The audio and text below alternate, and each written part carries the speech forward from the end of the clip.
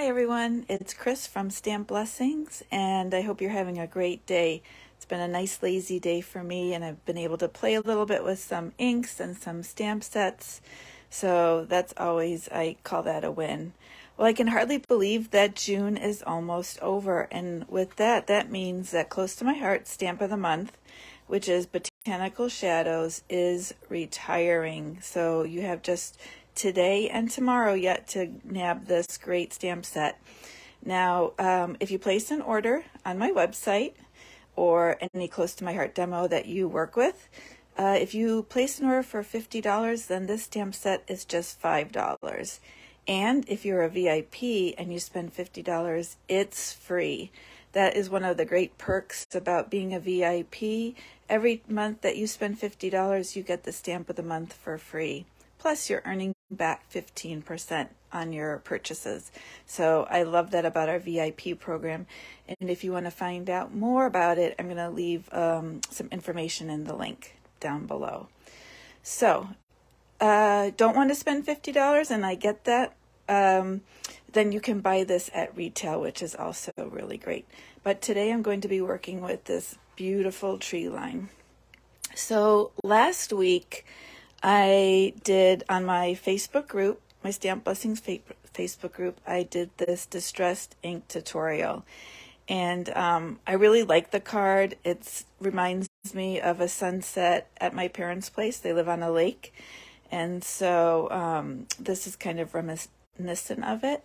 But then on Instagram yesterday, I spotted a beautiful card that at Hey Marsha Makes. She made this great um, version with a light blue sky, and I love how she had some white left over. I ended up putting a little pink in there, which is why I matted the card in pink. Um, it picks it up. It's really, really a light look. But this too reminds me of the mornings that I wake up at my parents' place, look out the window over the lake, and it is just gorgeous. I'm excited that I'm going there next week. Well, since I've already done a live in my Facebook group on this one, I'm going to go ahead and show you today how to make this card.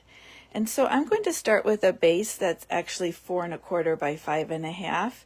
And then I'll leave measurements how to cut it down. I like starting a little bit bigger and then cutting down because it lets me cut away any area that might have gotten, you know, not as nice. So let's go ahead and get started.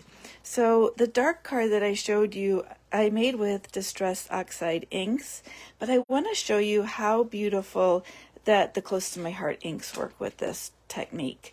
So you don't have to go out and buy something special. Now, uh, we sell both bristle brushes, these little blender brushes, and the Tim Holtz round ones. For this technique, I really do like these brushes, and I'll be honest, I bought my pack on Amazon. I like to save my money where I can, and um, so if you need help finding something, you can also buy them at the Dollar Tree or the dollar store. I'm not sure which one, but they have them everywhere. Anyway, we're going to start with Glacier. If you are not familiar with the Close to My Heart inks, they are big. They are four and a quarter by three and a half inches, plus they're magnetic. So I really like that feature. Watch. So you can lift it up, you keep the lid together, you don't lose your lid, which is nice. So I'm going to go ahead and get started. And because the Glacier is so light, I can pretty much go direct to paper on this one. And I'm just going to go ahead and swirl. Now, um, whatever I do on the top is what I have to remember to do on the bottom since it's a reflection. And you probably can't even really see the color going on. You're probably wondering, why are you even doing that, Chris? But it is there ever so lightly. And I really like the variation of the color. And I'm just, I'm pressing pretty hard to get this going. But I'm not going to spend a lot of time with it because I found no matter what, the results turn out really good. So where I might think it looks kind of blotchy, I'll be happy in the end how nice it looks. So I'm going to just bring in a little bit more. I can always go back and add more. So I set that glacier aside. And the next color I'll use is Capri. Capri is a little bit darker, so I want to um, start off the mat or off the paper, on the mat, off the paper. So I'm going to just start swirling it a little bit and then I come on in. And a lot of times you'll get a little bit of a dark tone right there on the edge, but that's the nice part about cutting this paper down to size. I can just trim that away and it won't even show. So I really like that. I'm going to just blend and bring that down. Again, you can see that I'm making kind of a repeated shape and I'm going to have my tree line go right across the center there. So I'm keeping that in mind as I ink it up. It's not an exact science because reflections aren't perfect, right? All right. So this is looking really good. And I think I'm going to go ahead and add just a little pink because if I wait till the end, I might forget. But I don't want to go too heavy on it. So I'm going to just kind of light brush it and then let's see what happens here. Yeah, I'm going to just kind of come over it. This again is a light pink. That one got a little bit dark, but hopefully I can put a tree there to cover that up. So when I stamp down, I'll be strategic about that. All right. So you'll get to see. I did practice this ahead of time last time I didn't, and I regretted it. It's a little bit nerve wracking, but this one, I think it's going to turn out great. All right, so I'll set aside my craft mat. And then I'm going to go ahead and I like using a stamping platform to stamp my image because every once in a while I just don't get a great one. And I'm going to show you that um, on my stamp that I got, it actually has a cut in it from when it was manufactured. And had I brought it to close to my heart's attention, they would have gladly replaced it. But I just have been making it work. And so I've been happy with way things are and I have not asked them to replace it. So I just have found a workaround for that. But just please note that they have a great return policy if um, you get a stamp that is damaged. Now, if it tears, a lot of times they'll ask you to just try and use it the way it is, and a lot of times it will work perfectly. So I'm using actually an old, close to my heart, black ink pad. They do sell them in the new style. But if I have something that works well, I just keep using it. So that's just how I've been. I'm going to bring that down and yep, my tree is going to go ahead and cover a lot of that pink.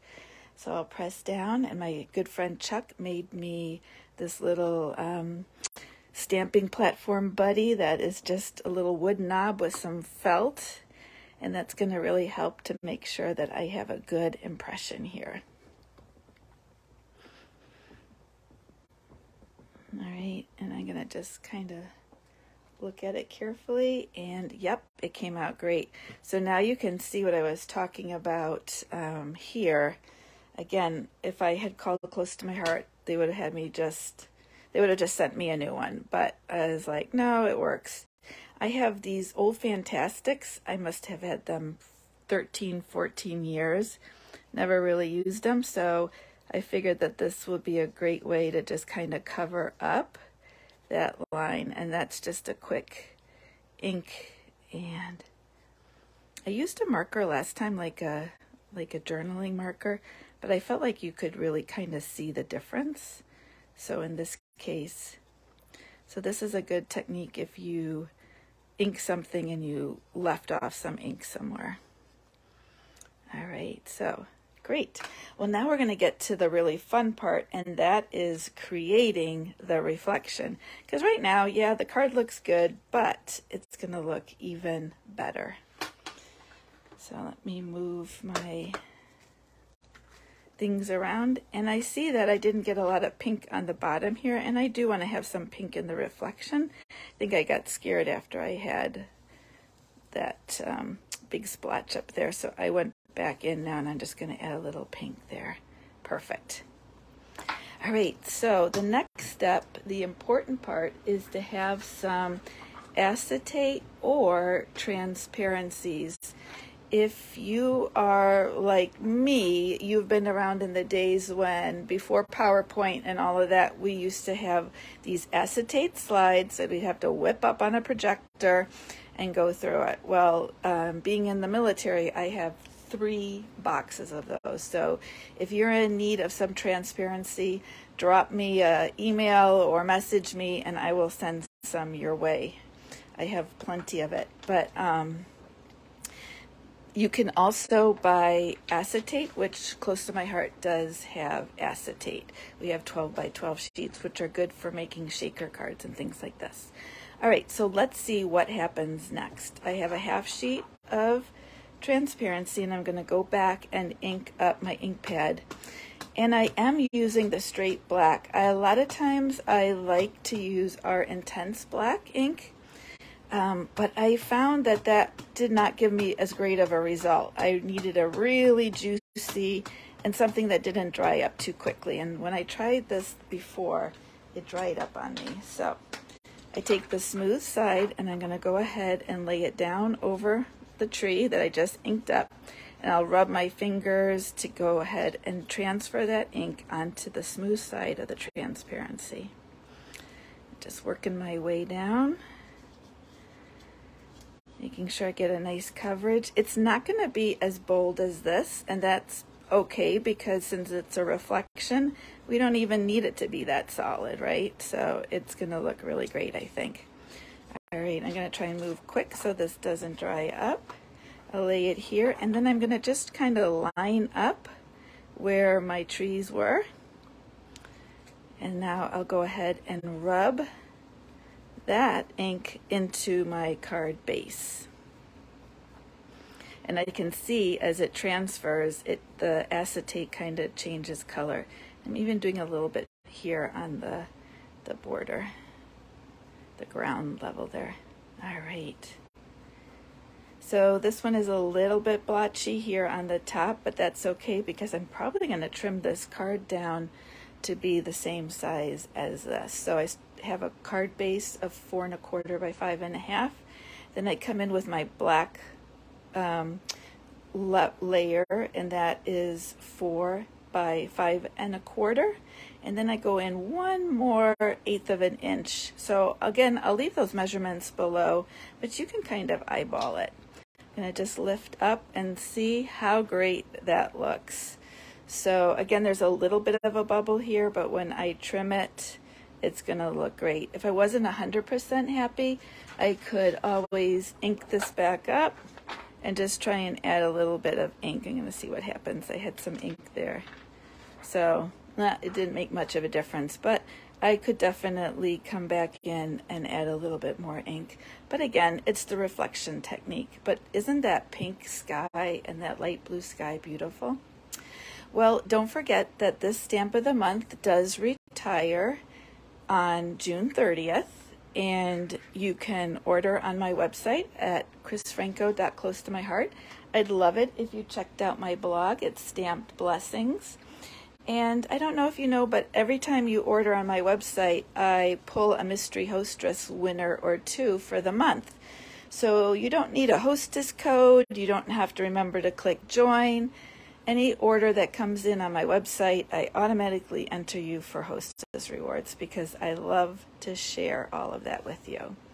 Um, oh, before I go, tomorrow's card will be on the, my blog, and this was cased from a close to my heart maker, Chris Lothan, out of Australia, and is just beautiful. And I'm going to tell you more about these dies, but this is also from our stamp of the month using these floral images.